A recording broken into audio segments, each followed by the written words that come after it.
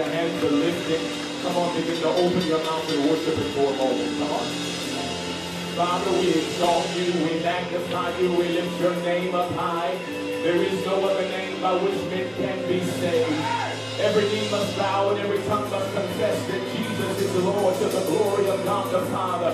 We lift up the name of Jesus in this atmosphere right now. And we say, Jesus, be glorified and let your flesh glory. Oh God, be glorified in the midst of your people. We thank you, Lord, that Jesus, the lion of the tribe of Judah, that you will let out a roar in the Holy Ghost today that would run out every demonic force and everything that like We serve notice on the forces of hell that your assignment has ended and that Jesus, the King of all kings, is present in this atmosphere. We decree and declare that these are moments of healing, miracles, signs, and wonders, that the gifts of the Spirit are stirring in this place right now. We decree and declare our minds and our thoughts are being elevated to think the thoughts of Christ right now. We bind every spirit that comes to hold us in the old place. But we decree and declare this is a new season. It is a new day. And we embrace it now in the name of Jesus. Satan, we command you to flee from this place.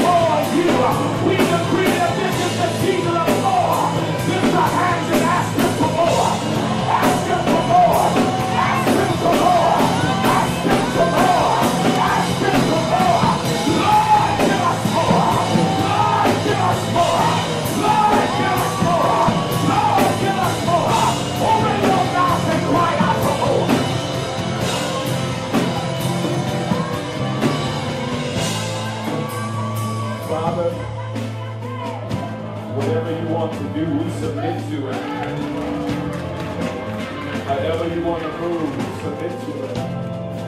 We submit to it. We don't place you inside of a box. But whatever you want to do, we welcome you in this place. In Jesus' name. Keep playing, but listen. how many are okay with us just flowing with the Holy Ghost?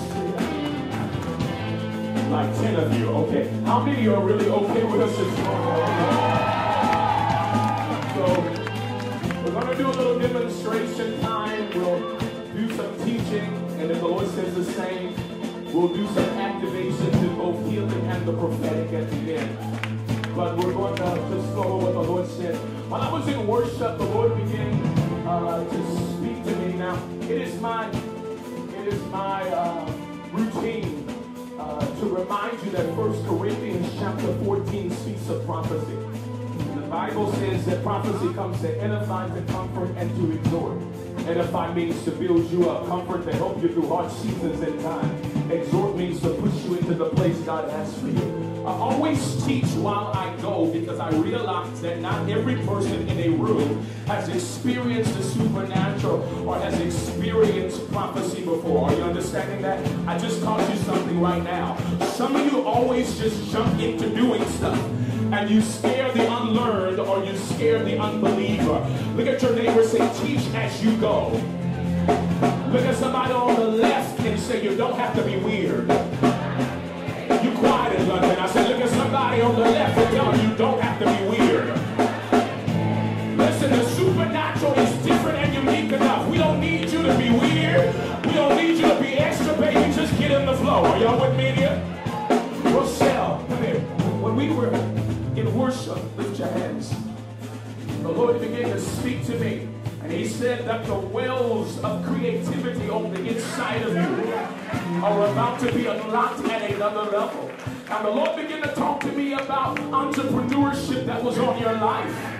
He said, Not only would you work for a man, but I'm going to begin to open new seasons to you. And the Lord spoke the word 18. And He said, In the next 18 months, there shall be a shift and what you do with your hands. But the Lord said, I am bringing you into a place of great fulfillment. For it seems like somewhere around two or three years ago, the Lord began to give you a dream and you began to see the more that God has for you. And it's been a struggle because doing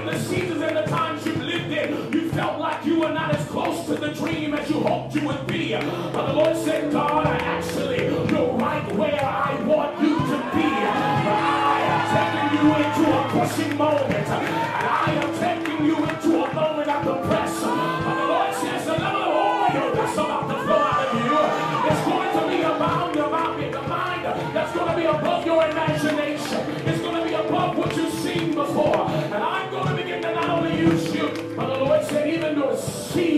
my hand is upon. And the Lord said, listen, he said that the devils that tried to be upon their fathers and even your life will not come upon their lives.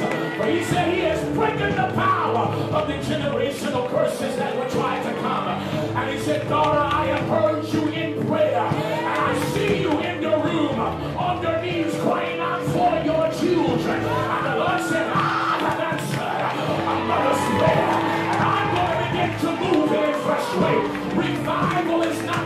upon you, ma'am, but revival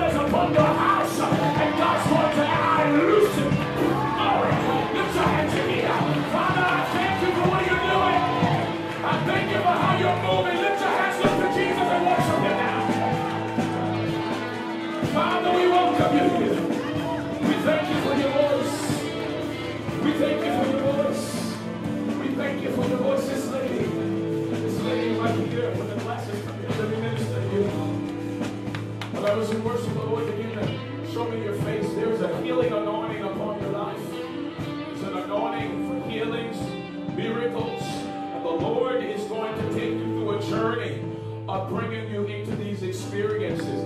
I saw the release of angelic forces. God is going to begin to teach you how to understand the reasons why He sends angels into the earth. You'll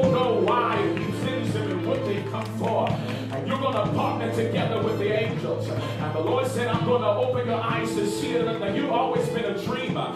But the Lord said, now I'm going to bring you into another level of vision capacity. And your eyes will behold. And many will say, what are you looking at? But you will peer as a seer into another realm. And the Lord says, get ready because I'm going to stir you up. And, and it's going to be unusual. I'm going to make you uncomfortable. And, and, and you'll say, God, this is too much. And you'll say, no, it's me.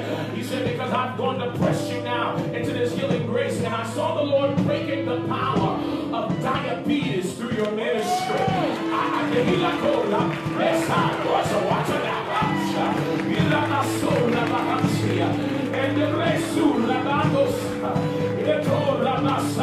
Father, this thing in family line concerning diabetes.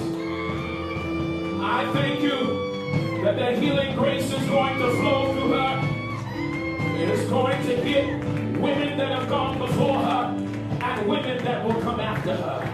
I decree and I declare, pick her up, let me lay my hands on her. I decree and declare the activation of this fire, fire.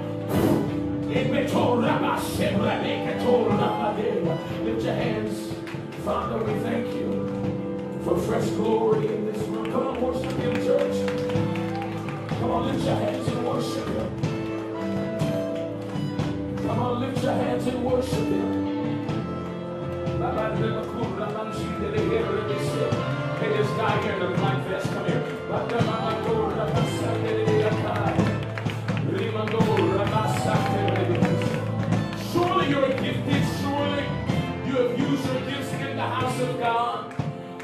Began to talk to me about how He was beginning to change your circles. And I saw the Lord was going to extract you out of circles of religiosity and people who are stuck in doing their own idea of doing church. And the Lord said, if you have an ear, hear what the Spirit says to you today. But He said, if you obey me and you make the shifts I call for you to bring, there shall be promotion and there shall be elevation. But I want to bring you into a space that has the capacity to build your character where it needs to be built. But I desire, the Lord says, to bring you into new spaces. But I want to deal with your soul at another level. And I want to deal with the Pharaoh-like systems that have used up your gifts but have not dealt with your soul. And the Lord says, I the pharaohs of your life and say, Let my people go. So he's saying, he's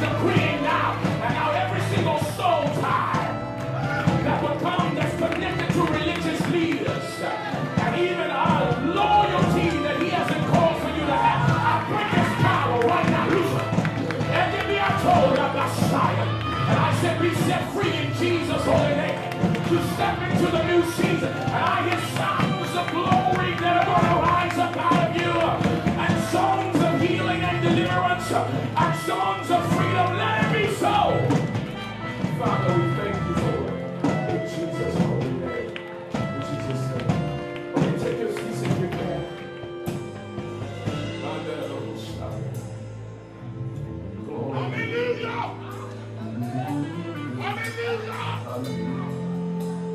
Anybody sense the presence of the Lord?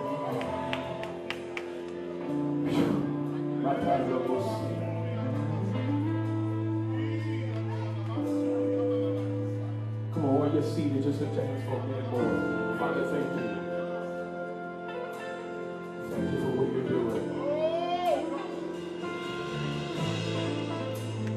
Let not one individual miss what you're pouring in this atmosphere today. But let us all behold what you want us to see. In Jesus' name. Amen. So I am beyond excited to be here. I want to thank God for your leader, Apostle Elijah Shamrock. Let's thank God for him. That was as sad as could be. I said, let's thank God for him.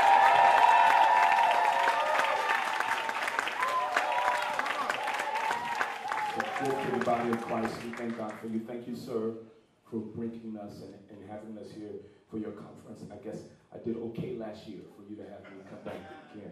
So thank you so very much. I do want to, I know we've done it already, but I want to honor my father, Dr. Apostle Matthew Stevenson. I am because he is. And uh, that is true. All right. Um, so I, my job is to um, teach on revival. I'm going to do my best to teach and not holler and all that kind of stuff. We'll see what happens. Um, um, but I want to talk to you about revival a little bit. And as I said, after we do that, we'll kind of move into some, some activations and uh, uh, healing activations and uh, prophetic activations. If you want to, you all can go rest, but you want, please don't go far at all because um, it's, it's very, very uh, needed for my flow. All righty. How many of you want revival? Really. Um, that's fantastic. Uh, one of the things that I, that I want you to know, if, if, you're taking notes, I want you to do that. If you're not taking notes, I, I want you to take notes. Um, I want you to capture what the Lord is going to uh, say to you. Now, I do want to honor my wife in her absence, Dr. Jaquette Dumas. And um, she sends her love and um, to, to, to, uh, who watches Too Real, Too Raw? Amen. Put your babies to sleep now. That's what we watch. But uh, thank you for all of you who are who support us. One of the things that I want you to understand about revival is that revival is not an event. He is a person. Revival is not an event, he is a person. And uh, I think the reason why many um, reformations, many churches, denominations are not experiencing revival is because we're searching an event. We're searching for an event, we're looking for an event instead of seeking the person of Jesus. Instead of seeking the person of Jesus. And so, uh, and the truth is, some of you here t- t- today because you're looking, you came to this event for revival. And the truth is, it doesn't matter how many prophetic words you get this weekend. It doesn't matter how much glory sits on the place. If you don't begin your own personal search to seek after Jesus, it will be for nothing. It matters not that you are in this conference. Being in this conference does not make you a revivalist. Being in this room does not make you mean that God is about to use you to transform your city or your family. That has to do with your personal relationship with Jesus. Somebody say Jesus. John 11 25, Jesus said to her, I am the resurrection and the life. He who believes in me, though he may die, he shall live. Jesus saying, I'm revival. Revival is a person who desires for you to engage him at a different level. The issue is that we have we have talked about the children of Israel uh, in the Old Testament, but we are very much like them. We form the God that we want to worship. Many of us in the room have not seen revival because you've been worshiping at a type of Jesus that you created. That's good. That's good. It's not really Jesus the Christ, Son of the living God. It's a Jesus that you formed in your mind. A Jesus that makes me feel comfortable. A Jesus that never ever deals with my character a Jesus that I treat like a prostitute. And I tell him, go and get my stuff and go and get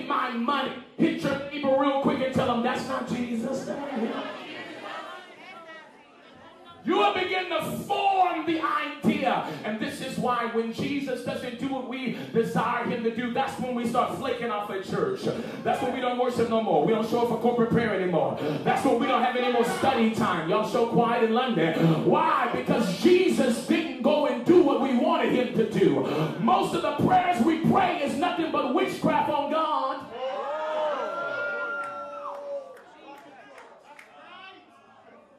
God use me, God use me. You don't want God to use me, you want to use God.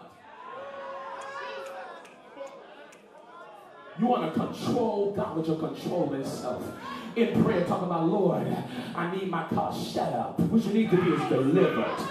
God does not need you anymore to come into prayer bowing and crying for stuff instead of crying out for him. He is sick and I mean sick and tired. Look behind you and find you somebody look halfway saved and tell him he's sick and tired.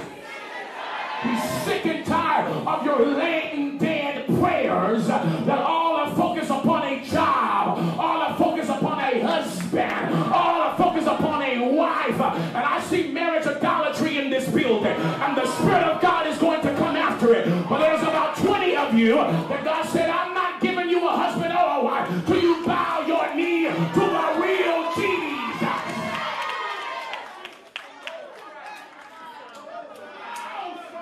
Revival is a person. He's a person. I'm, I'm called to bring the fundamentals of relationship with Jesus back to the forefront. You are trying to skip steps. You're trying to skip steps. You think you can just jump into the flow because your gifts have tricked you.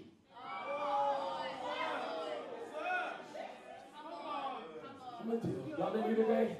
I said your gifts have tricked you. No, I, I can say this before because I've been tricked before, Jamal. I mean, my gifts tricked the heck out of me because I could flow in my gifts, but I was living like a hoe. Are you still in here? I said, ho, hello, ho, ho, ho, Merry Christmas, ho.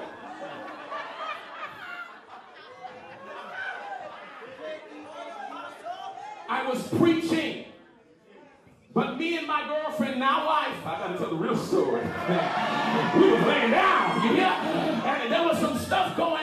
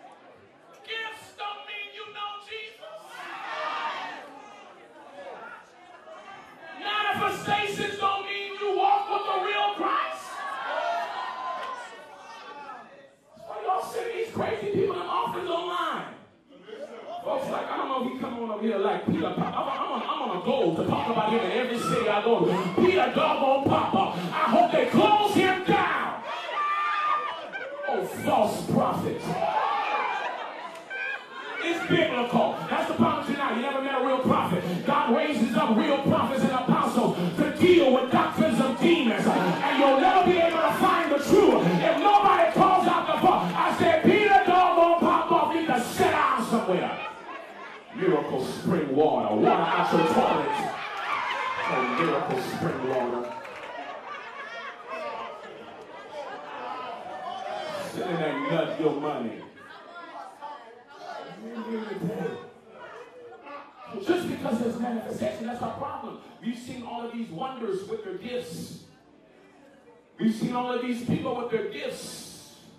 We've even seen people come, like the apostle said, come into your nation with gifts. And everybody likes gifts. On, talk to me, Christmas. Hello, somebody. And no, no, no, no. Anybody in here not like her. Everybody like gifts. And if you don't like it, you're lying. You know you like stuff. We all like gifts. So then it's become a culture in the body of Christ. Bring us gifts. Gifts. Gifts. Gifts. Nobody looks to see if that man's wife is on the front row depressed or not. As long as you bring us the gifts. Nobody checks if his children are suicidal. As long as you bring us the gift. Nobody checks to see that he's stealing the church's money. Because as long as you bring us the gifts, we'll ignore the mess for the gifts. Revival is not the manifestations of gifts. Revival begins with your love for Jesus. You can try your best to skip it, but it will always tell on you.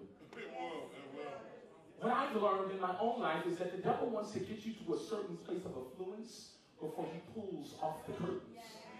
And you may think you're getting away with it. I'm telling my own story. You may think you're getting away with it. But God will bring you to a certain, the enemy will try to get you to a certain place of influence and he will open the door. Now I'm going to deal with you for a minute. Some of you have thought that different doors have opened for you because it's mercy. You said, I mean, I know I'm living in a mess, but look at mercy. I got a promotion on my job. Like, oh my God, you know, I know I'm not doing right, but look at mercy. The Lord has given me elevation. You're calling it mercy, but that's not what it is. It's actually your Pharaoh who said this that I will give you amenities inside of your bondage so that you will be comfortable in your bondage and not leave. Y'all missed it. Some of you missed it totally. It is not always that Jesus has opened the door. Sometimes it's Satan that opened the door so you would feel no pressure to come out of what you did in. And so many of us are somewhere. Thank God for mercy. You better check that door. This is a season where you cannot walk through every door that opens. Some of you need to begin to check that door. Listen behind that door. Y'all ain't working with enemy today. You gotta be someplace. You find you a door. It look like it. Gotta put your ear to that door and listen to what's on the other side before you walk in. You gotta discern the door. How strong is this door? Is it God's mission for me to walk through the door? Every door that opens doesn't mean that it's Jesus. So you gotta actually have a relationship with Jesus. I'm gonna say a couple of things that you're gonna say is just elementary. You have to read your Bible. Oh, come on. Read your Bible. Yes, sir. Those are the fundamentals. Read your Bible. Absolutely. You cannot walk in revival if you have no type of language for revival. Language. The Language. language of revival is found in your study time. You haven't read the Bible since Sunday school when you were eight years old. Oh, dear. Oh, dear. Are you in here?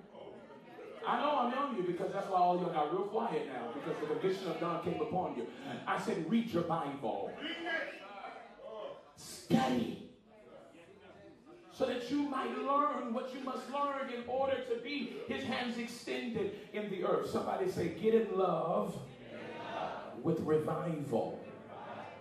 So, so listen, you, you've got to build that relationship with Jesus because even Jesus, he came and he said, Who do men say that I am? Here's the truth most Christians, uh, both in this nation and in America, they don't really know who he is. We don't know who Jesus is. We, we know what people taught us about Jesus. That's why you got to study for yourself. Before I studied for myself, I believed that women could not preach or pastor. Hilarious.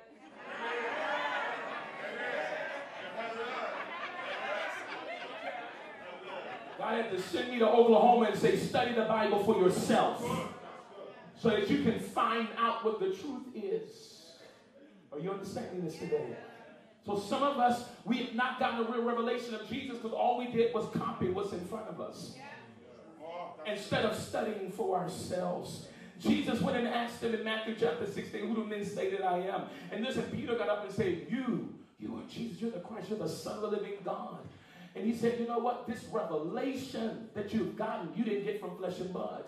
This revelation that you've gotten, you've only gotten from the Father above he began to say, you know what? Now, upon this thing, this revelation, the revelation of Jesus, I will build my church. If you don't have the revelation of Jesus, you cannot appropriately and you cannot correctly build the way that God wants you to build his house. It's only built on the revelation of Jesus Christ. Somebody say the revelation of Jesus Christ. Jesus not just as your Savior, Jesus as the Lord of your soul. Deal with the soul for a moment? The soul, the seat of your mind, your will, and your emotions, your soul. Many of us have not paid attention to the condition of our soul. The enemy has still made you feel like you can't have a devil. Biggest trick the devil played on the world is that he doesn't exist. And so we operate on a daily basis, seeking Jesus, searching for him, but many of us are missing that there are demonic forces connected to your soul. Are y'all in here today? You're like, I can't have a demon. Can't, Christians can't have a demon. What do you think that is that you've been dealing with all these years? Why you still broke? Why your legs are still open? You're quiet in here. It's called a demon. I learned that. Devils are things that are sent from hell to connect with our soul, to hold us in places of bondage. And until you realize and receive the revelation of Jesus, you're going to miss out on the freedom that God wants to bring in your life. And I believe before we step out of here this afternoon, that God is going to set some people free. Now, somebody ought to be thanking God right there. I said he wants to set some people free.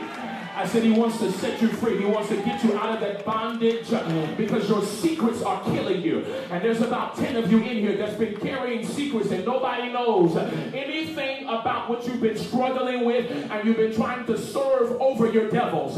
But the light of God is shining forth in this building today to deal with the things that's trying to entangle you and to bring you into a place of freedom. Somebody have a revelation of Jesus will bring you into freedom. Is this good to you already? So you need deliverance. You believe that? Not only do you need deliverance, you need counseling. some of you, you don't mean the devil cast out you. Some of you need to sit down with somebody. I mean, I mean seriously. You need to sit down with somebody. And, and not just anybody who's, you know, a professional, friends. Not, not somebody who just made up that they can just sit down with people and counsel. I mean a professional to help you. Somehow we begin to think that getting some type of help through counseling makes us some kind of bad individual. But I'm trying to help you. All that trauma that you received, like we can cast the devil out, but some of that stuff, man, that you've been dealing with, you need to sit down and talk about that and get some freedom connected to how you process.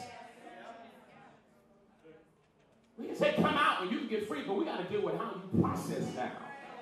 How that after you've gotten free, that you, you still, you know, whenever you see an individual that reminds you of your past, you still jumping. Whenever you get into certain encounters uh, that remind you of those seasons, you're still stuck in that place. We've got to get you delivered, and then we got to bring you into a place of receiving some level of counseling. Why are you talking about this, Sherman? Because the shepherd, Jesus the shepherd, wants to restore your soul. That only comes with building a real relationship with Jesus. Which means we cannot lie in prayer. Which means we cannot be hidden in the place of prayer. When we are trying our best to hide from Jesus, when we're praying, we want to talk all around our issues rather than dealing with where we are. Somebody say it's a safe place. Because it's a safe place, you need to come into a place of honesty about the condition of your soul right now. You need to come into a place of being honest about where you're at how you're processing, what's been going on with you, and how God wants to bring you into a place of complete wholeness and feel, being filled with the aspect of what He wants released in your life. If I was you, I would just lift my hands and say, Lord, thank you for freedom. Thank you for freedom. So God wants to bring you into this place.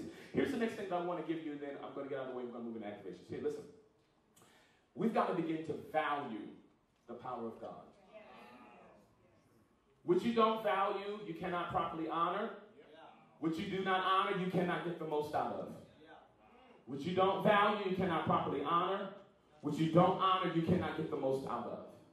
You cannot say that you love Jesus, but have not embraced that he's a man full of power. Paul said, you know what, this thing that I'm talking about, it is not just in, in word and it's not in man's wisdom.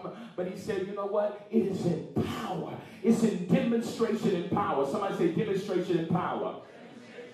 But we can't skip steps again. We can't just jump the demonstration and power and not deal with your soul first.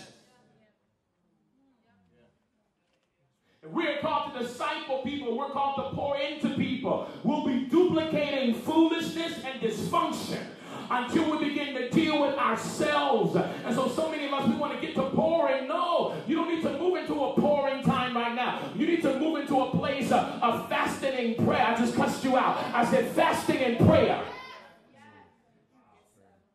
Some only come out by You've got to get to a place of fasting and prayer. There are lost disciplines in the church. And not just your cute fast that you come up with. You did a Facebook fast. You need more than a Facebook fast. You, you, you need a lot more than a Facebook fast. You need to turn your plate over and you need to begin to cry out to God and allow Him to kill your flesh. Are you understanding me today? When we fast and we pray, we don't fast to get closer to God. You're, Jesus has already done the work for that. We're fasting so we get our flesh out of the way so we can realize He was there all the time. Are you understanding this? So that you can get now your flesh cut back so you can sense and know that He is there. And not only that, that the most of what He wants to release out of you can come out of you. You got to circumcise the flesh. Is this making sense to anybody today? Then we can move on to demonstration and power. Jesus, his whole message, his whole, his whole, his whole aspect of what he was releasing was connected to the power of his kingdom. It was not a kingdom without power. This is why he did not feed into the idea that people wanted him to walk into a natural kingdom. That's why he made it very clear to them from the beginning that my kingdom is not of this world. In other words, my power that I possess doesn't come from this earth realm, but the power I possess comes from the heavens. And we worship this alternative Jesus in the body of Christ now that has no power. And the Jesus you've been worshiping is the Jesus that's been fueling your life. Another type of Christ. Bible said in the last days that there would be many Christs that would arise and that would deceive many. So there are many versions of the Christ that are moving in the earth today. And we've decided that we would worship at the version of the one that we like best instead of Jesus the Christ, Son of the living God. Jesus' kingdom is a kingdom full of power. Somebody say power. You, know, you can't say it like that old sad and wimpy. I said, somebody say power. power. Jesus' kingdom is a kingdom full of power. His church is a church full of power. The saints should be saints of power. This is our inheritance in Christ that we walk in the power of Almighty God. It is not that we should just operate and feel like powerless beings who have no aspect of being able to walk in what God has called us to walk in. We've got to be able to exhibit the power of God. And as we draw the man that is revival, He'll begin to birth something on the inside of us that will shake cities once again, that will shake nations once again, that will transform your family once again, that will open up deaf ears, and that will open up blind eyes and cause the dead to be raised. His power is real. Somebody say power. He wants his power to be displayed in the earth. In order to operate at that level of power, it's going to take faith. Want you to write this down. Everything in the kingdom of God operates by faith. Everything. You cannot exist in the kingdom of God. You cannot operate in the kingdom of God if you're not operating in faith. Here's the thing about faith faith is not faith until you bust the move. Write that down. Bible says faith without works is dead. Some of you been telling me, I, I believe in God. I'm walking. By. You ain't walking by faith. You haven't stepped out not one time. If you're so full of faith, why haven't you started that business yet?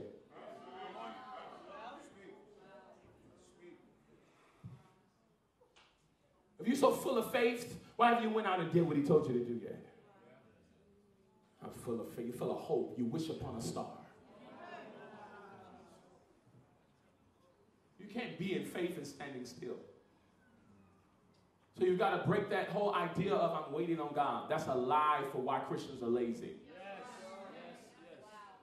I'm waiting on God. God's He's going to move. I'm waiting on, no, no, no, no, no, no, not at all. You're not waiting on God. He is waiting on you to do what you're supposed to do. And you've got to make the shifts into the place of revelation that He wants you to go into. But in order to operate in a life, a life of His power, Christianity is supposed to be supernatural.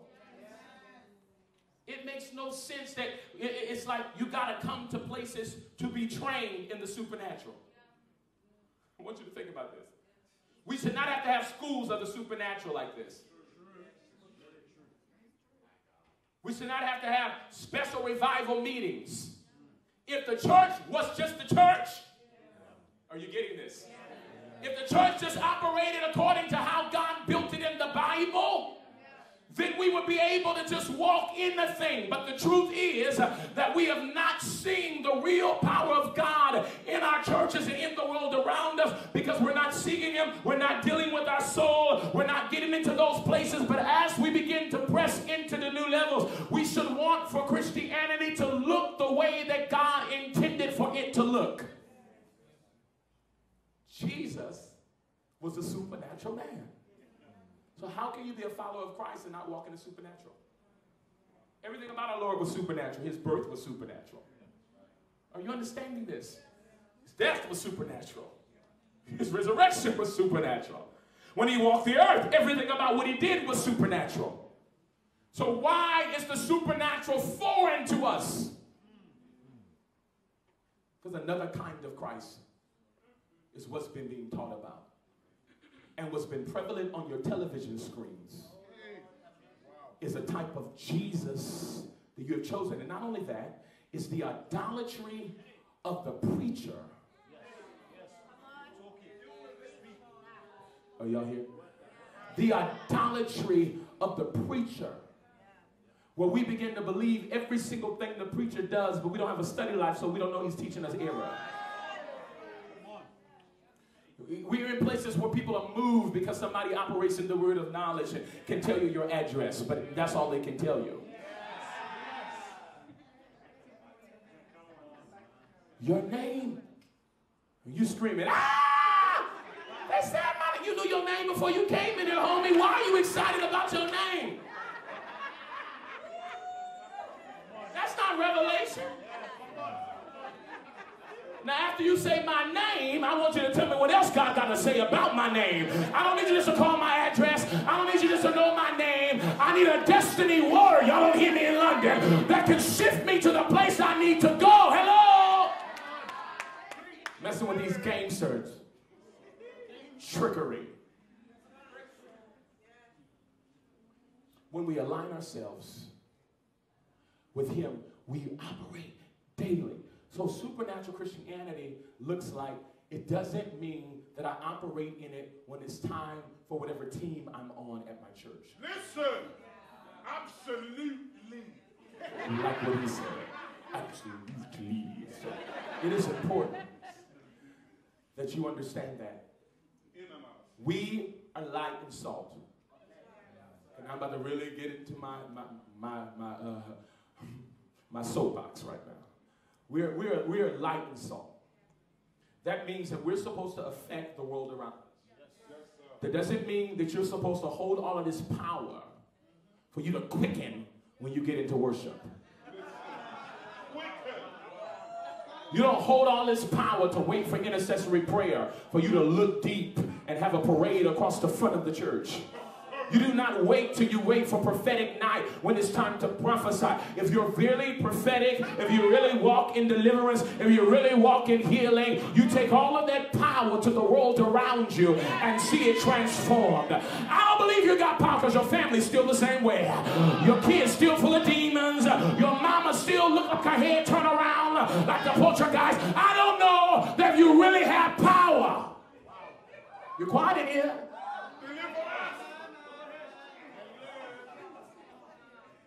If the people closest to you not being changed by that power, I don't trust your power.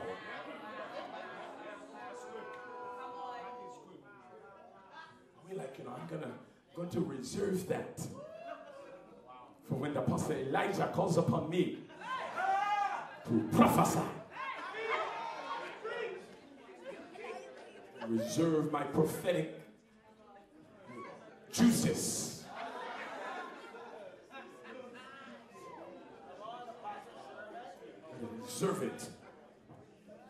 Have a real strong word.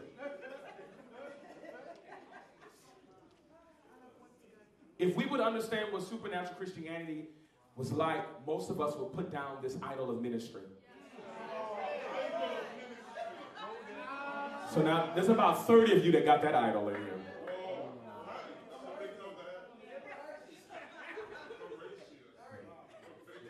Are you in here today? Idol of ministry.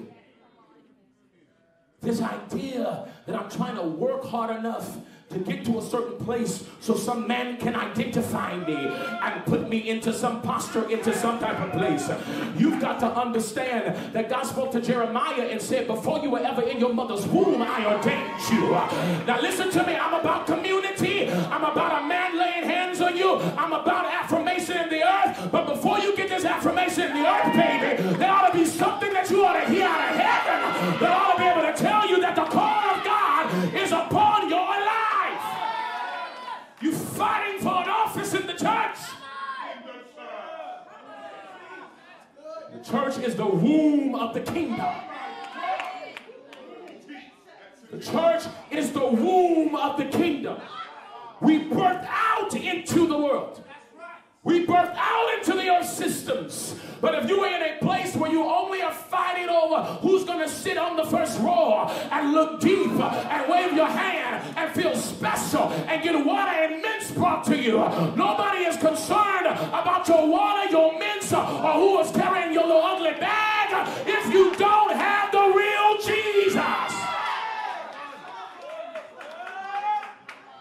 It's your dream because you were in these religious sectors and your whole life, all you saw was this foolishness. And so you just been waiting to be like the pastor or the bishop or the prophet who goes around town with 15 people following behind him and not a drop of anointing. Why do you need us to follow behind you and you not carrying nothing but bags? You have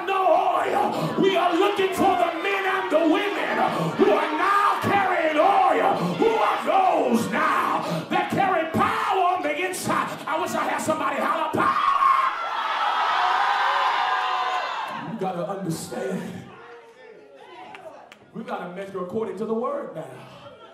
We can't measure now according to your activities. You can't measure now according to the things that you are doing. We've got to measure you according to the Word of God. And that's what the problem has been with the saints. We refuse to measure. And we have tricked you to feeling like you can't look at that man and woman of God and check them out by the Word. But I license you to make sure that you stop following these idiots who do not line up to the way that Jesus exists. I license you to stop. And you don't got to pray, should I leave or should I not leave? Get out of Egypt. Get out of these foolish churches that have you in bondage and look nothing like the Bible. Where in the Bible it says that I have to pray. Let me seek God to see if I need to follow an idiot.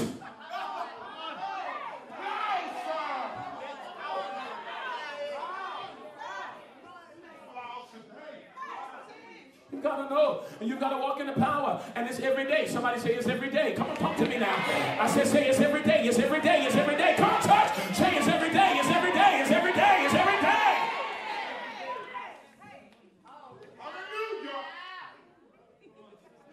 Most of us, a lot of us, are just flowing off of a corporate anointing. That's why you only see when you're in the house.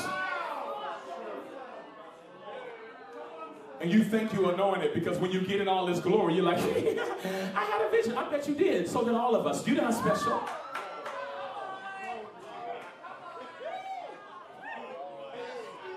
What you did was you got in a room where a corporate anointing was, where the spirit of prophecy was in operation. So of course you saw something. That don't mean nothing. What I want to know what you do when you step up out of here. You got any dreams then? Do you have any visions? When was the last time you laid hands on the sick and they recovered? When was the last time you cast the devil out? When was the last time? Are you just running behind whoever they is, who the is is? The hottest thing. Spending all your money conference halls.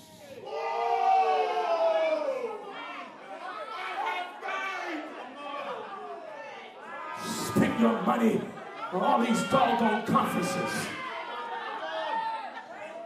Like the woman with the issue of blood that spent all she had and went to many physicians and still sick.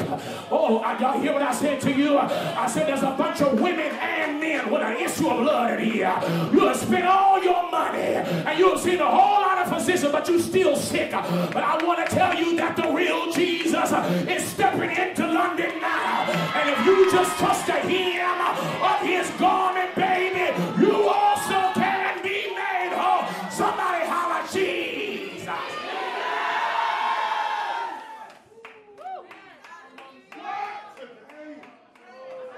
Every day. Every day. Every day. Every day. Every day. The enemy, let me tell you what's in the room. The enemy has gotten you angry with your family. You were at Thanksgiving dinner and arguments came. They didn't like your chemical. So you got frustrated. And they didn't like the way you made dinner. So now you have an attitude. You have a problem with, with your family members. And it's the trick of the enemy to make you no longer care about their freedom and deliverance. Prophesy, sir. That's real. Hello? So, so you go into a place of now you're like, as long as I got mine, baby, I'm fine. I'm not studying these old crazy people called my family. But the reality is that God's promises for household uh, salvation and deliverance. And God said, I'm the God of Abraham. I'm the God of Isaac, and I'm the God of Jacob. And if you'll let me deal with your soulless issues, I'll get you from the place where you stop being so redundant. Every somebody says something about you, you act like a little five-year-old baby in the corner. You got to get somewhere and become mature in Jesus. That everything doesn't shake you the way it shook you. And you can be able to now minister to your family instead of leaving them behind. Come on, Joseph. Once you've got your deliverance, you got to remember your family. Joseph's family came to the place of his deliverance and the place of his freedom. And he had the opportunity that if he wanted to, he could have cast his family out. But he sat there and said, No, not only am I going to be free, but I'm going to now let my family become partakers of my freedom.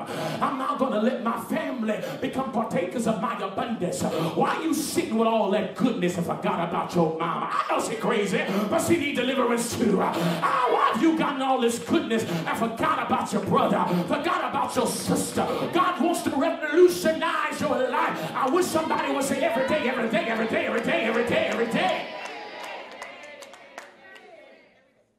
Every day.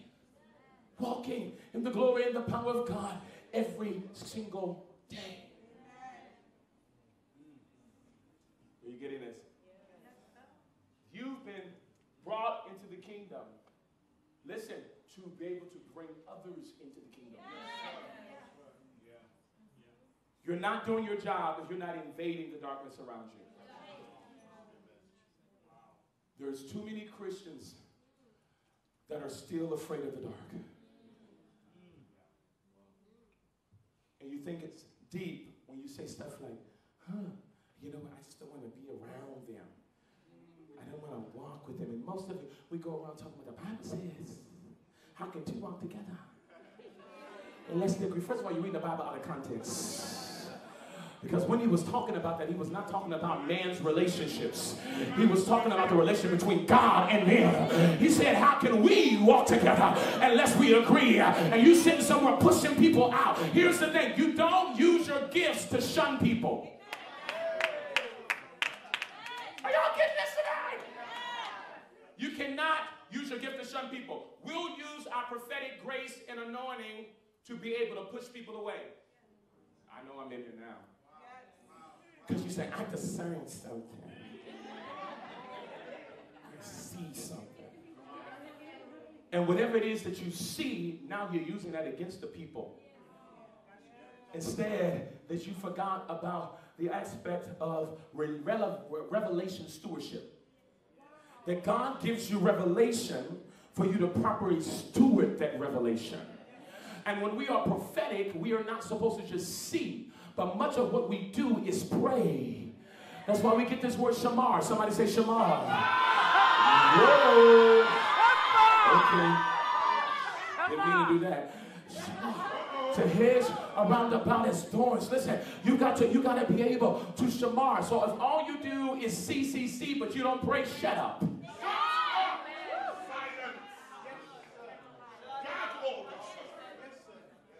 You don't see, so then you can be like, I'm not talking to her no more when I see her at church. I saw, I had a dream last night, and the Lord showed me she was sleeping with three men, and that thing can't jump on me because I've been chaste for the Lord for one week, and so I surely can't get it to mess up my, my deliverance.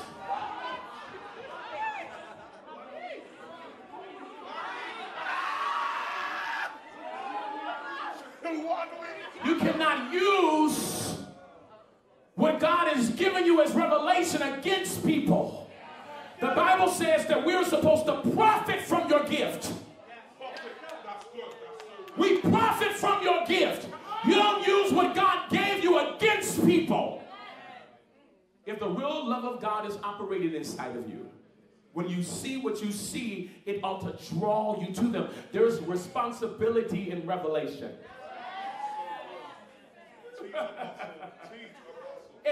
Especially if you're building in the context of a house. If a house, that's right, that's right. If you're building, and if you ain't building in the context of a house, shut up anyway.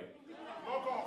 But if you're building in a context of a house, you got to understand God is giving you that revelation to strengthen and to build.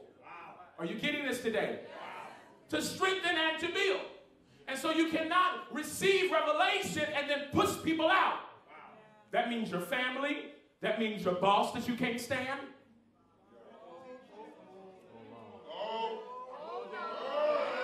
The reason, the reason why you were on that job in the first place is because it is your assignment. Some of you like, Lord, send me to the nation. You ain't called to no nation. Sit down somewhere and be quiet. Everybody that's halfway prophetic, talking about they're a prophet to the nation. Everybody, it ain't even that many nations. We can all be a prophet to the nation. Somebody got to be a prophet to that corner store. Somebody got to be a prophet to that roach. Somebody got to be a prophet. Hello, somebody.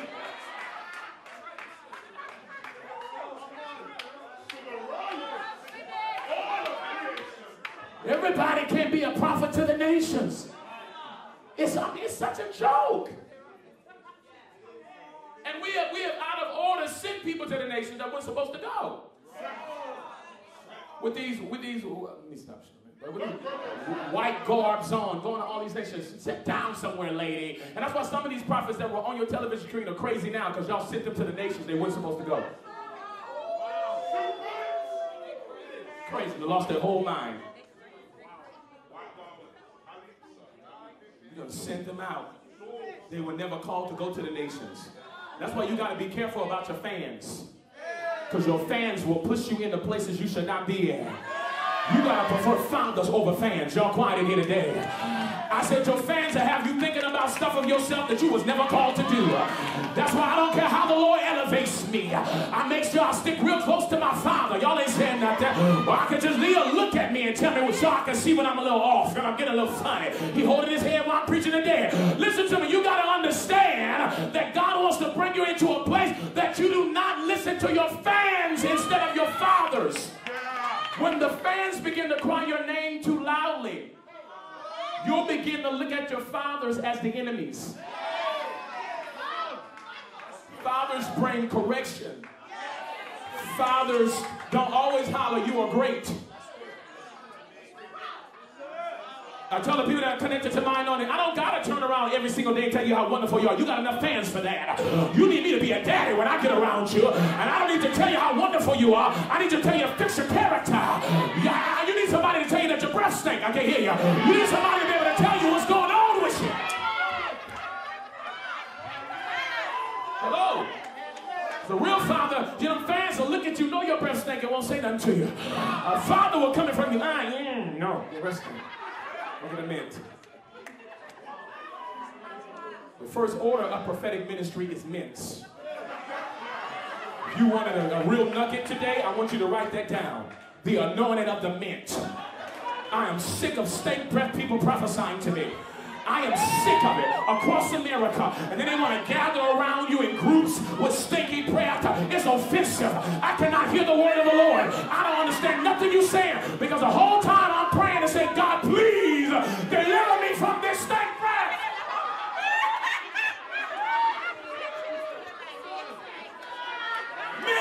The Holy Ghost.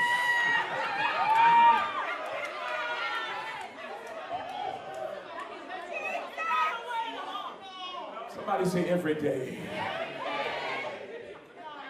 Every day. You've been anointed for your boss. Your job is your assignment. You don't need to go to a nation, meaning the nations of the world. He sent you to a nation, your job. Sent you to a people group, your job. And if you will stop being so angry at work every day, then you can fulfill your assignment and maybe you can get a promotion or maybe you can get moved to another place. But until you fulfill your assignment, you're going to be still right there at that computer with your complaining tail. Are you in here today? All right, so you've got to get to this place every day. You understand that? When you're in Starbucks, and when you're in Starbucks, you have to realize that there are, there are things that you must be aware of. When you walk with Jesus, when you walk with Holy Spirit, you must ask them to make you sensitive. Sensitive to your assignment. We become a careless people we don't really care about who's around us. Most people don't want our Christ because we're standoffish. The ugliness of your face is stopping your anointing.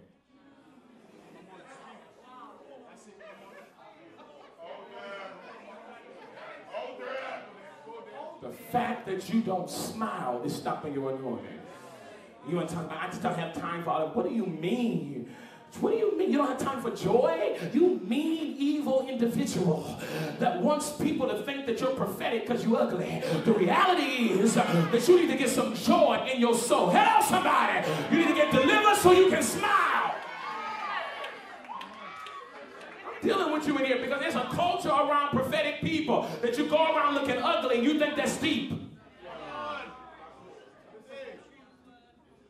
Let me just your face look like that? Are y'all in here today? Some of you don't understand this that when you get into your assignment, I'm gonna do this and I'm gonna activate and get out of here. When you get into your assignment, is this good to you? Feel like it was worth your money? Praise God. Listen to me. Let me say this to you. When you really know, when you're really in your assignment, listen to me. Money is attracted to your assignment.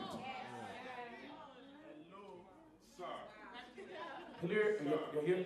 Uh, money is attracted to your assignment. But listen, but if you're in your assignment but not activated in your assignment, there's a difference. So some of us are in our assignment but we're not functional there, meaning that we're in a place but we're not functioning in that place. So we've been assigned to our family but we're not functioning there. We've been assigned to our job but we're not functioning there. We've been assigned to the school we're in, but we're not functioning there. And until you function, people will not be able to see you who are supposed to see you. Right. Right. Right. That's real. That's real. Wow, that's real. You know, our gifts shall bring us before great men. But if you don't operate and use those gifts, how will they see you? how will they see you?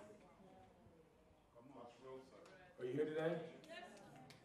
The more you get into your function, you find wealth in your function. That's real. That's real. I know what I'm talking. Absolutely. You'll find wealthy, and you've got to own who you are. Stop trying to be somebody who, who's not out here, trying to be those people who don't operate in the supernatural. Walk in who you are and let God send you what's supposed to come to you. When I made a decision at another level last year, I was just going to be who I was. I'm just different. I'm not like every preacher. I'm not like every prophet. I have a call that's different from others. I'm going to walk in my call. I'm going to be who God has called me to be. I don't care who looks at me strange. I don't care who talks about me. Can I tell you when I made that decision last last year, in the midst of my pain that I was dealing with in that season, God began to open up stuff for me that I had never seen before. He began to bring elevation I had never walked in before because I was in my function.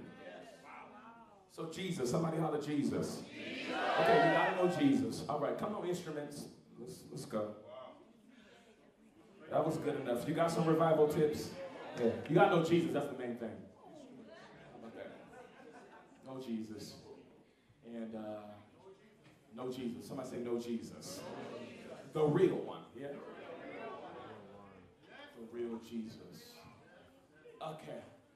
Uh, who's holding me with time? How much time I got? Okay, that's gonna be fun. How, now, how, how, many of you like to have fun in the Holy Ghost? Yeah. Y'all don't like fun. Y'all just lame. I mean, how many of you really like to have fun in the Holy Ghost?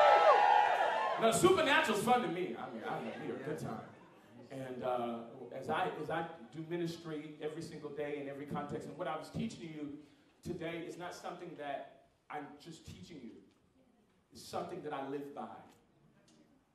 That I'm sensitive to my assignment every single day of my life. That every place that God brings me into, that I can be aware, you can play, that be aware and be alert to those that are around me. Not only that, we're raising up a people in California that can hear the heart of God and that can hear the cry of the people around you. God wants to bring you into a place of the shift where your ears begin to be open now and you can hear the cries of those that are on your streets, those that are in the apartment next to you you can begin to hear the cries of people who are in your community, who are on your jobs, that you can begin to hear the cries in the souls of those that are around you. If you want to hear that at a different level, just lift your hands right now. I believe the Lord is activating that for you. Come on. He's taking off the callous off of your heart. He's taking the callous off of your heart. He's taking off the extra off of your heart, and he's bringing you into a place now. He said, I'll trace you. Give me the hard heart, and I'll give you a heart of flesh. Let's trade. I want to bring you into a place now where you become sensitive to my plan and my will. Lord, I pray in Jesus' holy name, begin to go in now and begin to deal with the hearts of your people. Those that have become hard against their family, those that have become hard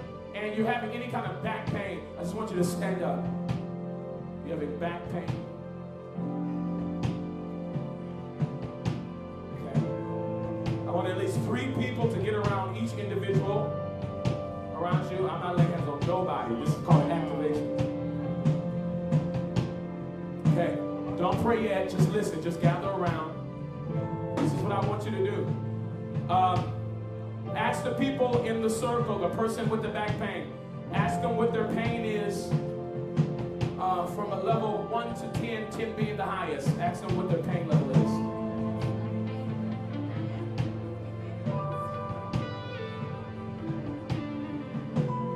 You got the pain level? Okay.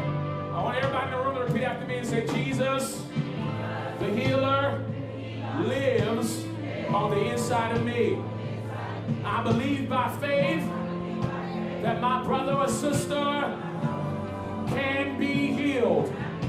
Father, I thank you that you said we can lay hands on the sick and they shall recover. Now listen to me, there's a difference between miracles and healings. Miracles, according to scripture, often are instantaneous. Some healings take a process. You remember the man that was the man that Jesus was praying for? He was sick. He was blind. He opened his eyes. He said, What do you see? He said, I see men walking around as streets. He on him again, lay hands on him again for the process of healing. Are you getting this? We're going to believe that we're going to see uh, lots of miracles right now. Some of these things may be healings. We're going to walk into the grace of whatever God wants to do right now. Is that good? All right, I want everybody in those circles to lay your hands on those individuals. You're close by, stretch your hands towards them. Begin to pray. Begin to pray for their backs. Come on. We pray right now. We com- command the pain to go to hell. Come on. Tell the pain to go to hell. Loose the healing grace of Almighty God. Come on, believe. Those that are being prayed for, believe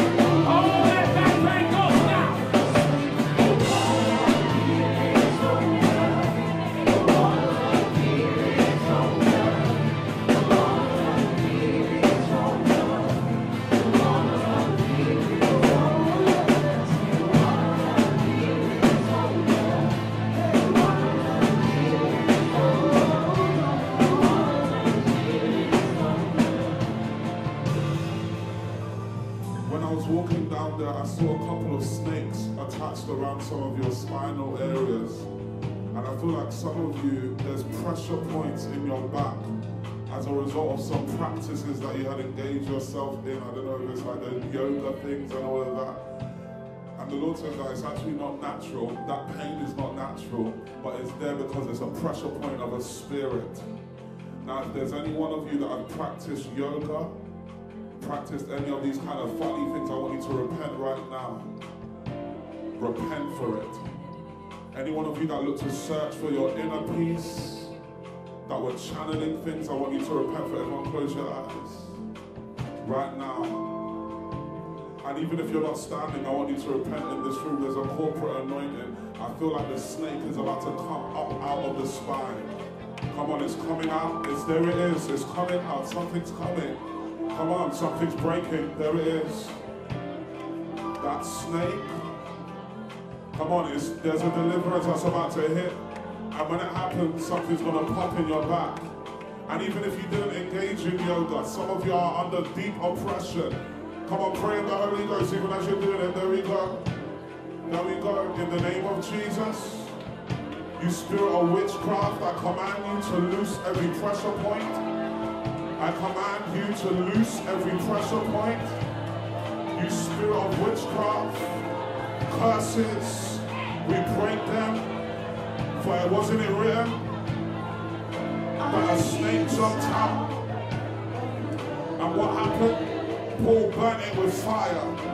We loose the fire of God in this place against every word curse and every form of spiritual activity. Come on, stir up intercessors, charge this place. La mando.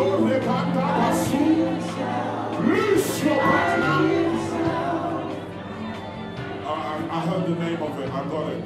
You spirit of pharmakeia, I command you to come out by the finger of God in the name of Jesus that is above every name. We take authority over pills.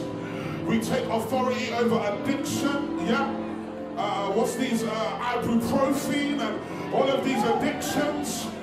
These addictions. Some of you pop pills consistently. That spirit of pharmakeia. Come on, I feel it. Stir up the room. That spirit of pharmakeia is leaving you and it's affecting your sleep. In the name of Jesus. In the name of Jesus. Now I want you to begin to bend their back as you're praying in the spirit. Pray. Come on, don't observe. Bend their back. Come on. Bend it. Father Kaya, come out. Come on. Father Kaya, come out. pharmakeia, come out. Now somebody of them need to lift up their knees. Lamba breka tu sunda labaka. Lebandele bekulia sunda labande. Come on, Mark, judge this thing. Get the intercessors to judge. Come on, pharmakeia, I feel you. Come out. La bambande garianda loduria sutu.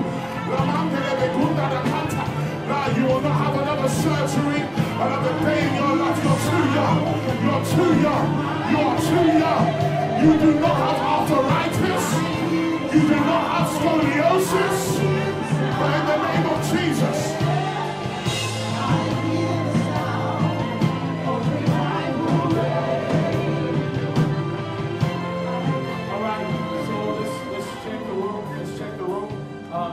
Person next to you a scale from 1 to 10, what's their pain level now? If you get someone that's completely pain free, I want you to lift your hand so I can know. Ask them what's their pain level now. When they're completely free, I want you to raise your hand so I can know. We got a healing here in the back to my left. You're right, this is good. Anybody else pain free? Uh, that's the one I so you we have one over here. Okay, that's two. And, uh, the one in the back, that's three. Come on, y'all, thank God for his healing. Thank God for his healing. All right, so who still has a little pain? You still got a little pain? Yes, because I didn't see. Yes, okay. So we're going to pray again just for a few, for, for, for, for a couple of minutes here. Just going to pray again. Did the pain decrease at all for those that still have pain?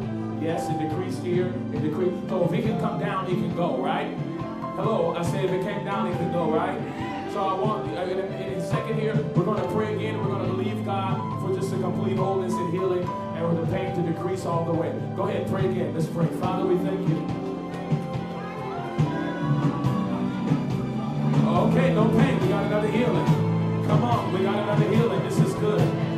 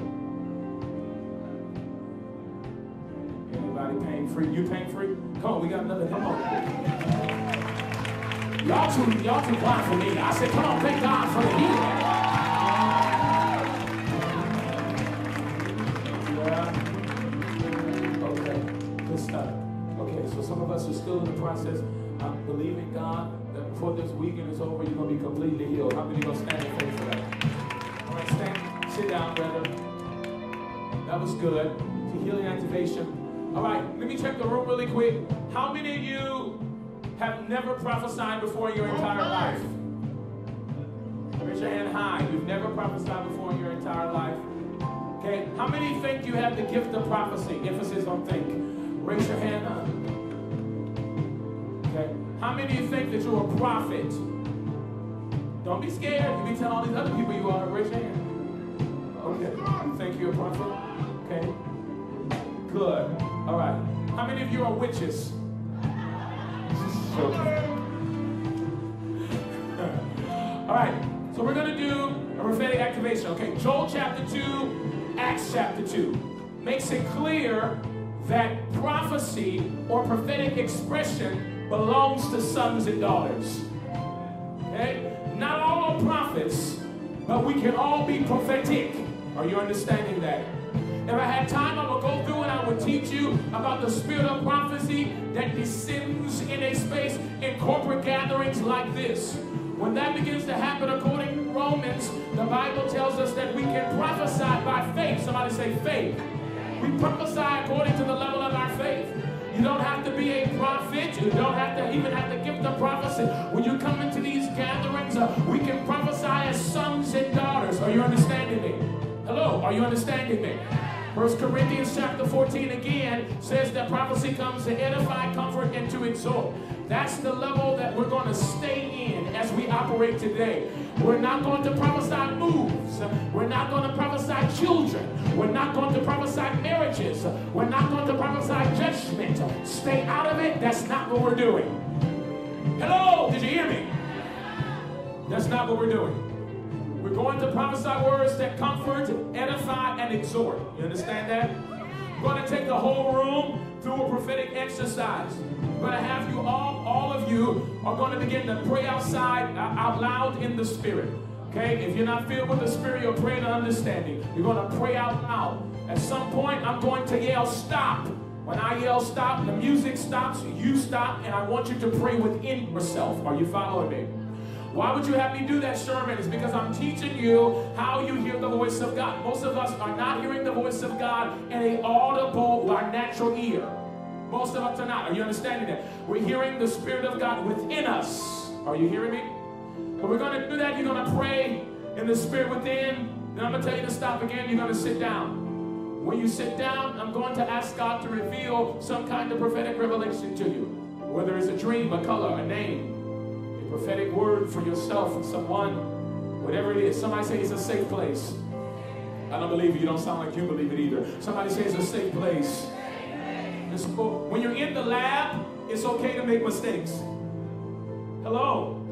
That's the power of prophetic community. This is the safe space that we learn to grow in our gifts so that when we go out, we can operate in a space where we can be accurate and be on time with Him. Okay? Are you getting this? Clear? All right. So I want everyone to, uh, uh, to go ahead and stand again real quick. Just stand again real quick. We're not going to take a long to do this. And then I got a, an item activation that I'm going to do with the people that feel like they're prophets. Okay, I want everybody to lift up your voice, the Holy Ghost. Let's go. Come on. Don't whisper, pray. Go.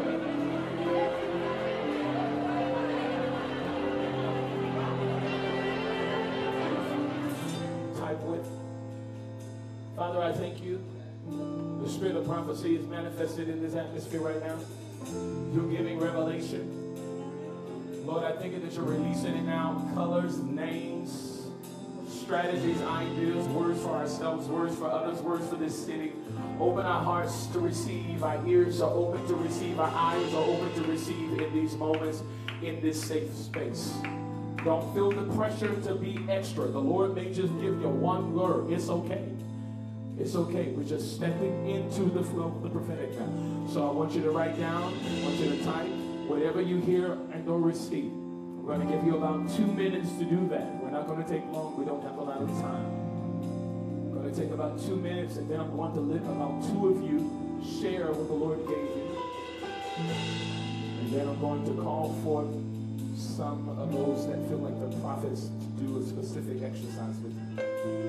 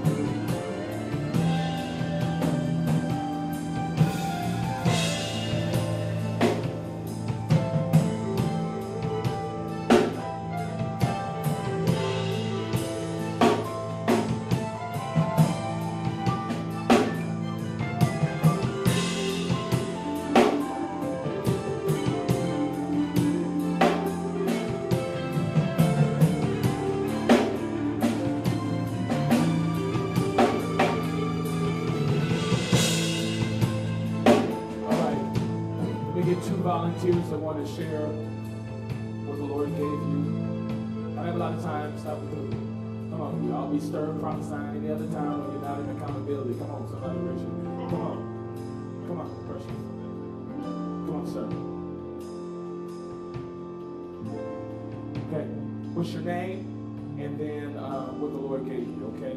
Uh, no more than two minutes, okay? All right, praise God.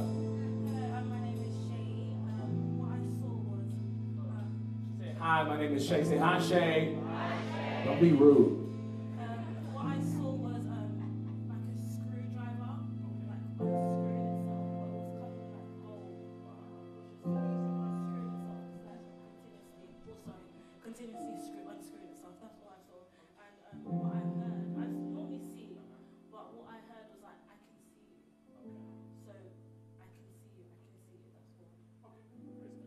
Say praise God for his word. Amen. I'm screwing. Amen. Praise God. What you got? Yeah, um, I saw the book of the Lord. My name is Matthew. um, yeah, great name. saw um, the book of the Lord, and I saw refreshing, like a divine refreshing that's coming uh, to God's people. I saw that there was divine reinforcements. Specifically, what I saw was men on horses And I saw angelic reinforcements that were sent for warfare. I saw enlarging and overtaking of new territories. I saw that the army is formed and is coming to fruition in this hour, says the Spirit of God. Uh, the season of the radical is upon us. There's a new rank and a new order coming to the radical of God in this hour.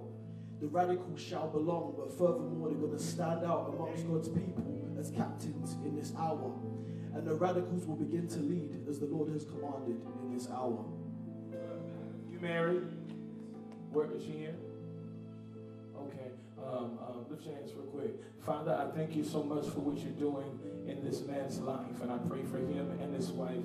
I thank you, Lord, that this is going to be great days of, of revival in family. You're going to cause for there to be a fresh unity, and when I saw it's going to be like a like a new honeymoon. It's, it's like it's going to be uh, fresh all over again. And I thank you, Lord God, that you're awakening not only him but his spouse. They're going to begin to walk into new revelations and understanding of what it means, oh God, to partner in ministry. And so, Father, I pray in Jesus' name that every single attack of the enemy that would come up against this union be broken right now in Jesus' name. I curse, curse the works of darkness that were trying to come.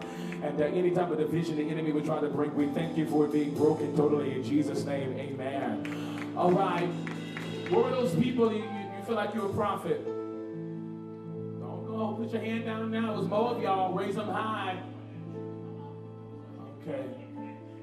Give me, give me gray hair from last night, right? And, uh, keep your hand raised.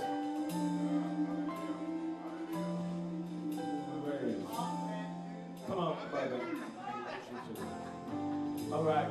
So I would usually do my blind prophet um, activation. I don't have no. I forgot about to ask for the scarves. So just just do me a favor. Just turn that way and face that wall. Okay. You hold on just a second. Keep your eyes looking that way, okay? So, oh, you got one? Go ahead. Help this woman of God. You got some beautiful. Come on, you precious. Come. She gonna she gonna tie this around your eyes. You straight with that? Don't mess up with her lashes because they are flicky. Do you understand me? Don't you mess with the lashes. All right. So I'm gonna. How this works is that I'm gonna pull somebody out of the audience. I'm gonna put you back to back with this lady. She's going to give you the word of the Lord. Why are you blindfolded? I have people across the country that tell me I'm, I'm opening up people's third eye, and all this dumb stuff. Uh, idiots. Uh, but, but the whole reason is because a lot of you, when you prophesy, you get moved by emotions. So the more people cry, your word gets larger and larger. First you said that God was going to send them up the street. Now they're going to age them. It's just your word just gets bigger and bigger and bigger, the more emotional. Or if people do not emotionally respond, you think that you haven't gotten a good word. If you ever prophesied to my wife, you'll feel like you are not a prophet. My wife will look at you straight face like, what? And that's just because she's receiving. And to her, you know, you prophesy to me, I'm going to fall out on the floor emotional and stuff like that. I probably miss half of the word. My wife is going to make sure she gets everything that she's supposed to get out of that word. And so you can't be moved by emotion either way. Am I teaching you good? Well, tell me there. I said, am I teaching you good? All right, so I'm gonna I'm gonna help you with this. I'm gonna call one person out of the audience and then have them come in. And um,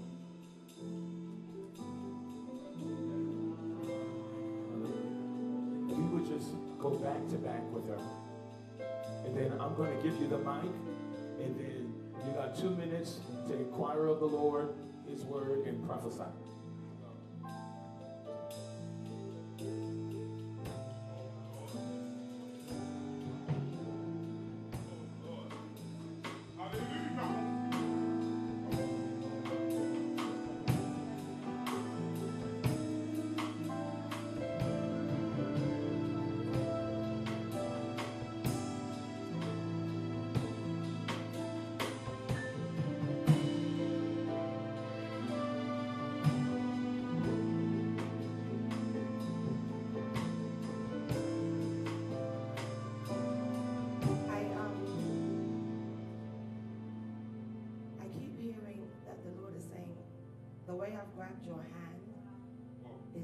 He's grabbing your hand. He said, because sometimes you feel like you don't know where you're going or which way to go, but he said, I'm leading you. He said, I'm holding you. He said, I'm this close. Don't worry about it. Why are you fretful? Why are you scared? Why, why don't you believe what I told you I will do? I'm going to lead you. Yep. Yeah. There's a lot of tribulation. There's a lot of mm-hmm. pain. There's a lot of brokenness. But God said, You don't understand that I'm with you. I'm right by your side. And because of what I've called you to do, this brokenness, this place where you thought I was leaving you, the place where you thought I wasn't there is the place I'm going to propel you from.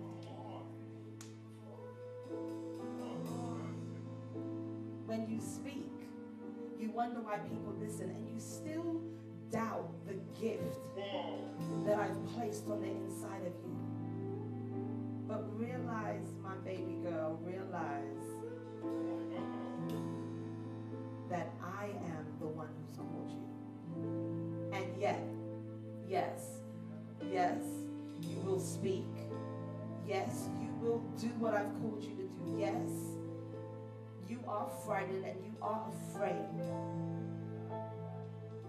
But the grace that I've placed on your life will push you further than your parents even thought you could go. I've got you. That's what I keep hearing is I got you. I'm holding your hand and I've got you. Awesome. You can take this off. Okay, turn around. Now, first I want you to see who you minister to.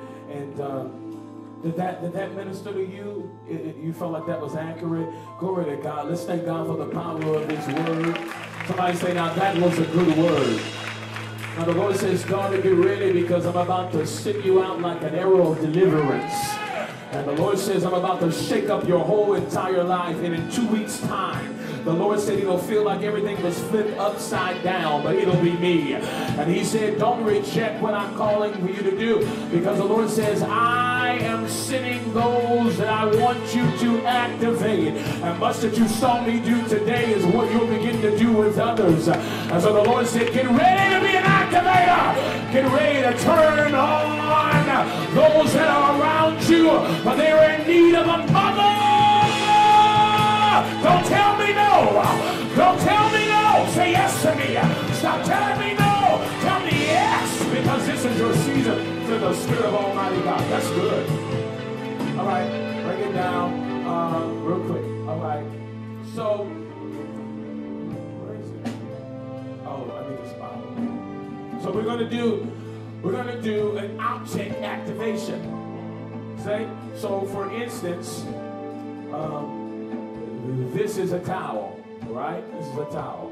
So, uh, yeah, yeah, yeah, Come here, young lady. What's your name? Who? Ruda? Rudo. That's a nice name. Come on. So, just to give you an example of what you're going to do. And the object activations, we take an object and we ask God for a word to use this object. So I would say, Rudo, this is the town. And the Lord said, uh, even as this town uh, is used uh, to wipe the tears of uh, people, He's going to begin to wipe your tears. Because you've been in a season of great weeping, and you've been in a season of great stretching, and you ask God, when will this be over? And He has now comes the towel from heaven, and I'm going to begin to wipe your tears, said the Spirit of God. But you will now begin to cry new tears. And these be tears of great joy. But you will find a reason to celebrate in the season that's ahead. I'm turning the corner in your life. And I'm going to begin to activate and awaken the mandate and the mantle that's upon you. So God arise. And he says, will you cry for those that have no voice? Will you cry for those cannot be heard? For you will be raised up as a defender of the weak. That's right. That's right. That's right. Even there's some things the Lord's going to cause for you to step into with social justice. The Lord says, Hear me, daughter, for this is your season, say the Spirit of God. You see what I'm saying? All right, you, praise God. All right, so so this is a water bottle, okay? Uh,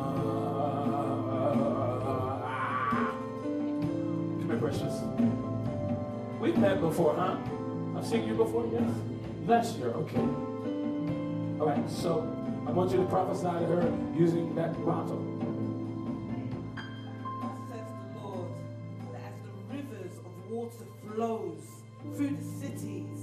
God is going to use you as a river and a well where people will be healed and be made whole. And that out of your loins, God will raise up an army, a mighty army that came broken, but through you they will be made whole. In Jesus' mighty name. Somebody say that's a good word.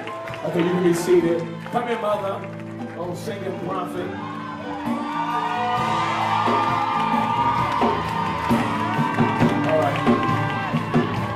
All excited about her. I, I say, man. Give me a scarf again. Blindfold this lady. Come on, wrap her around her eyes. Now, I want you to do something different. Listen to me. The Lord spoke to me and said that there was an army of creatives in London that He was raising up to operate inside of the prophetic. And many of you have felt as if that you could not find your place in the prophetic because you don't prophesy with just thus said the Lord. Some of you prophesy as you paint. Some of you prophesy as you dance. Even some of you prophesy as you do visual art. And the Lord is beginning to awaken you and He wants you to know you have an inheritance. Holy Ghost, help me. You have an inheritance in the prophetic. And He has a mandate that He has for you to do. And so the Lord said, let her be an example to you that He is raising up. A, it's a renaissance of creativity that's going to begin to happen in London. And I will begin to gather them, said the Lord. And I'll begin to bring them together, said the Lord. And the Lord says, prophesy. All right. My time is running.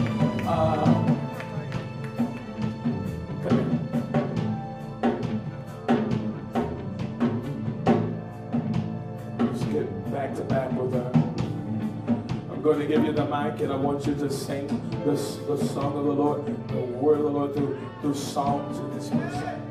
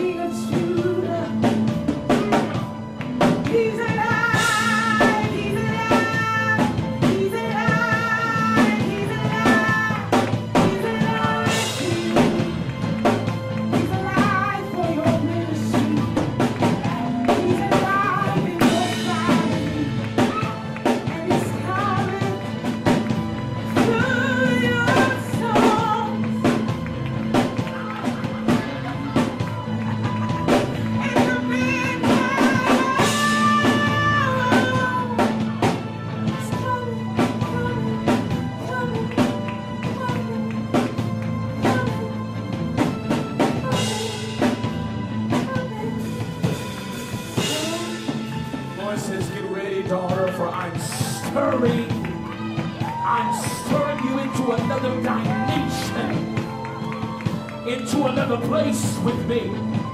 For it seemed like at one level you felt like you had plateaued and you asked God, give me more, show me more.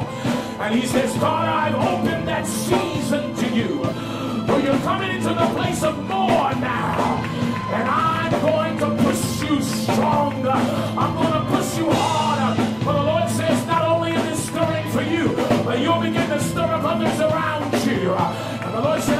Said, I give you the responsibility now to activate stir those that are in your vicinity. Get ready, daughter.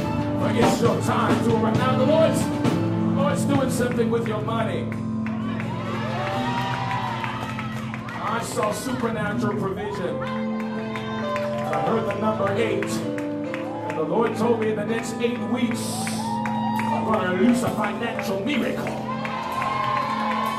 You ask God, Lord, where's my provision? And the Lord said, Surely I am bringing it to you. But have I not spoken and made it clear that I'm your papa? That's what I heard him say. He says, I'm your papa, and I will bring to you what belongs to you. I feel like there's a thief that's come in your midst and stole of your seed and your harvest. But the Lord says, I'm a restorer. And I'm going to bring restoration to you, says the Spirit of Almighty God. Lift your hands in here. Father, I thank you. Come on, lift your hands higher. I thank you, Lord God, for what you've done in these moments today. I thank you, Lord, that you bring us back into a fresh hunger for Jesus. But revival is not an event, but revival is a man, and his name is Jesus. Let the real Jesus Christ, Son of the living God, arise in our lives. We revoke and we push away every impostor, every false doctrine, every doctrine of demons. We push away this idea of this seeker-friendly mentality that wants to press the real Jesus out of the church. But we say we want Jesus. Come on, say it out of your mouth, church. We want it. I said, say we want Jesus. Hey, church, we want Jesus. Give us Jesus. Give us Jesus. Open your mouth real quick and cry out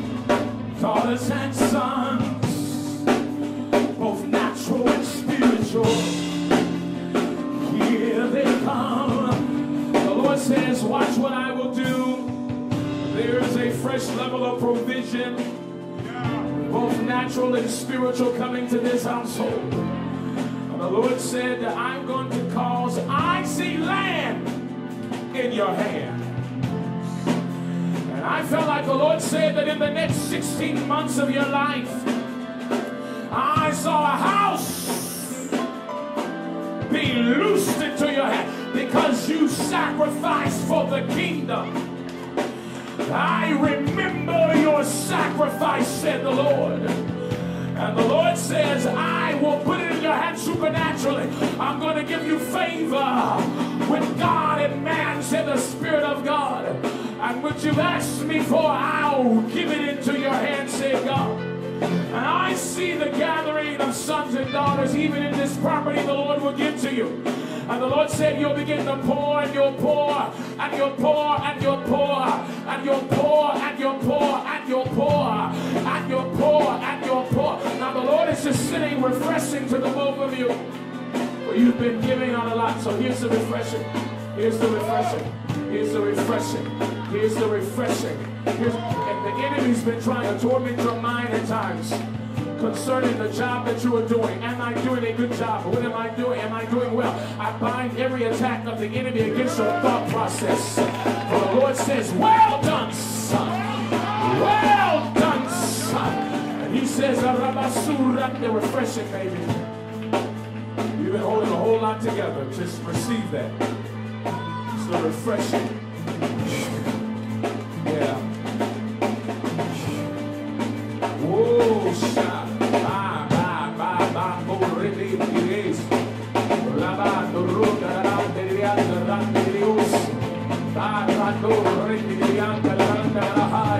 Torre,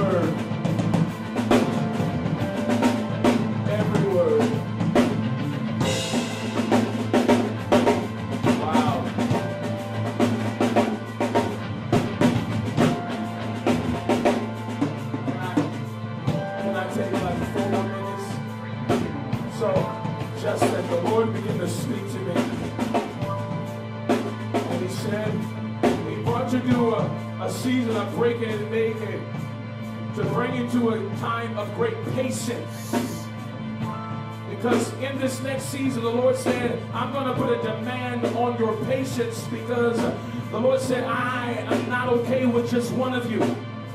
But the Lord said, I'm going to bring you into a time of the pouring and the teaching. And what has come natural to you, some of it, the Lord said, now I'm going to begin to give you the strategy on how to show others because there's an army of creatives the Lord is going to raise up through your loins. And the Lord said, and they'll begin to invade America. And so the Lord says, son, arise into this place that I've called you to step into because it is me, saying God. And I saw three new streams of income coming to your life. And there shall be a demand that will be placed upon you.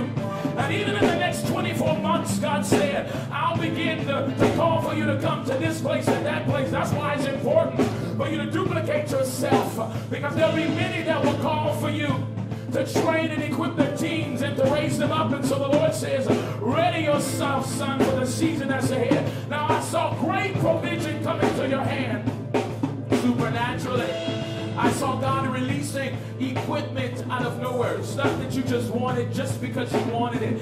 I mean, I'm telling you stuff that you just thought of. God's going to show you in the next uh, 12 to 18 months uh, how much you're prioritizing Him because supernaturally, is going to drop into your hand out of nowhere. And the Lord said, let there be a sign to you that I'm bringing you into a season of great release in the Spirit of God. Now, now the Lord said, I bring healing said, I bring healing to your heart, most specifically concerning your family, said the Lord. The Lord said, I'm going to bring you into a time of reconciliation. For there's been an enemy that came to pull apart and to divide, but it is not my will, said the Lord. For the Lord said, Now I will begin to gather together, and there will be hard conversations that will be had. Even before this year closes. But the Lord said, Many have heard and they've done wrong. But the truth is, they didn't know anything better, for they had not experienced better, but you have. And the Lord said, I brought you into better in this season. That you would reach back to those that were actually the ones that were the aggressors. And were actually those that harmed you in your heart. And I brought you into higher levels of revelation and understanding of what it means, the Lord says, to work closely with me, say God. So now I'm going to bring you into the place where you'll reach back and you'll say, but God, they were the ones that did it to me. Why do I have to? He said, because you're my son. He said, I'm going to cause for healing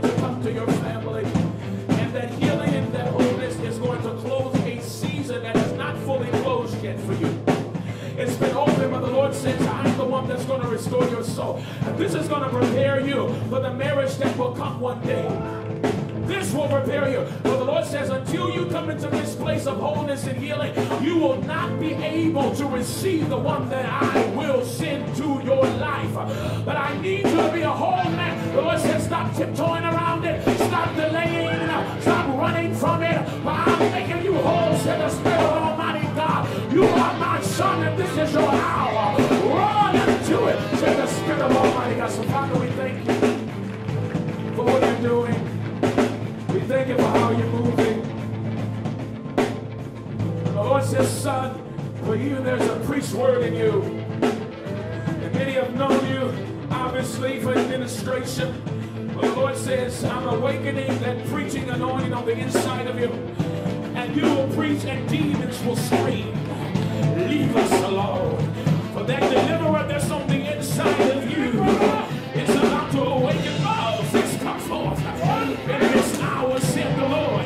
But there will be many that will run around you. And at first, even in the house, there'll be an annoyance to you. And you'll be like, God, why they following behind me? God, why they trying to be around me?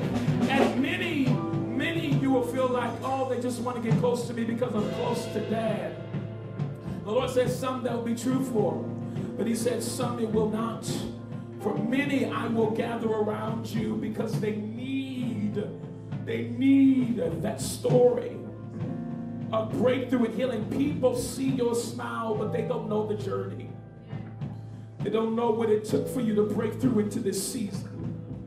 They don't know the fight that you had to break through in your mind to get here. But the Lord said, I took you that way, not the easy way. I had to take you that journey because there were many who would walk the same way and would need you to tell them they could make it. they could make it when they would even get home, and the, the enemy would try to torment their minds into the old season, but you had to fight your way through. And the Lord said, I had to take you that way, son because many need your story and your journey. So the Lord said, not only the preach word, but you're right, you're right, you're right, you're right.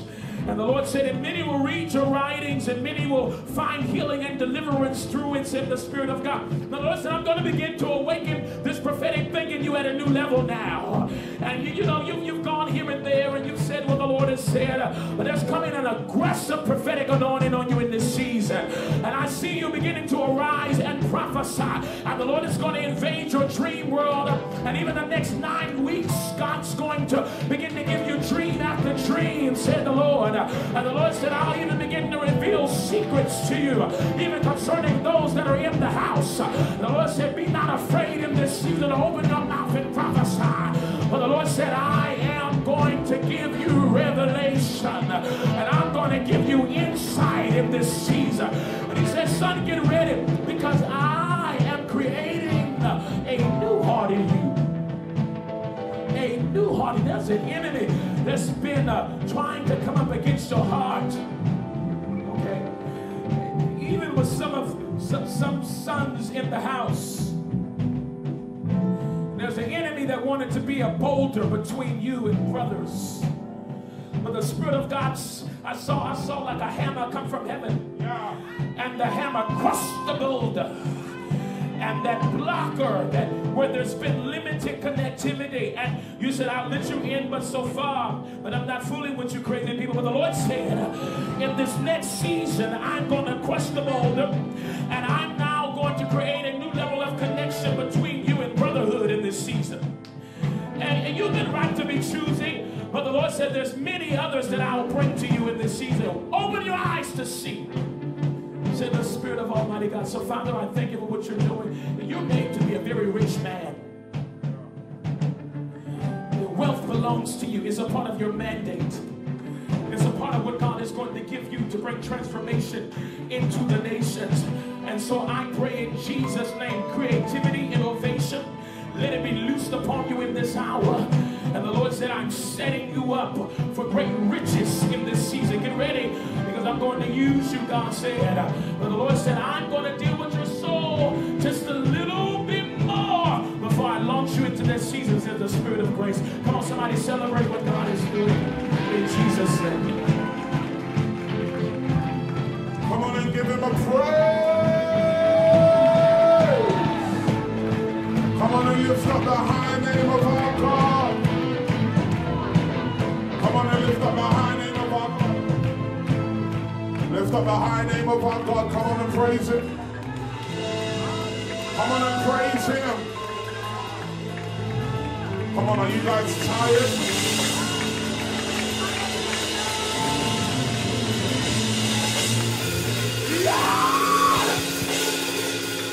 God of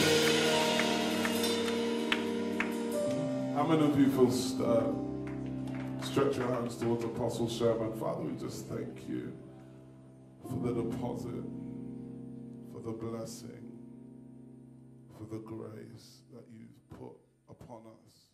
Come on, I want you to just bless Apostle Sherman